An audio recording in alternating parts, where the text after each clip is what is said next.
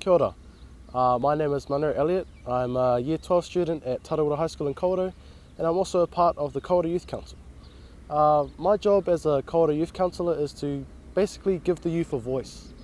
Um, the youth can come to us with things they want in the town and we will take it under consideration and just basically try to give it to them. Um, one thing I really like about being a Kawerau Youth Councillor is just pretty much giving back to the community, I guess. Um, you know, I've grown up in Kawerau pretty much my whole life, so being able to see young kids like I was come up and you know do stuff that they want to do is yeah pretty encouraging, and I love it a lot. So yeah.